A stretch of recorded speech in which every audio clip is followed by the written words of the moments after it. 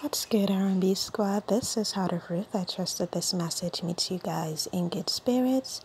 If you're new here, we don't believe that you're here by accident. Welcome. We're happy to have you, and Jesus is even happier.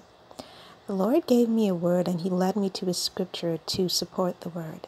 The Lord is saying that He is raising up Daniels and Josephs and Deborahs in this hour. And He took me to Daniel chapter 5, verse 12, and it reads, for as much as an excellent spirit in knowledge and understanding, interpreting of dreams and showing of hard sentences, and dissolving of doubts were found in the same Daniel, whom the king named Belteshazzar. Now let Daniel be called, and he will show the interpretation.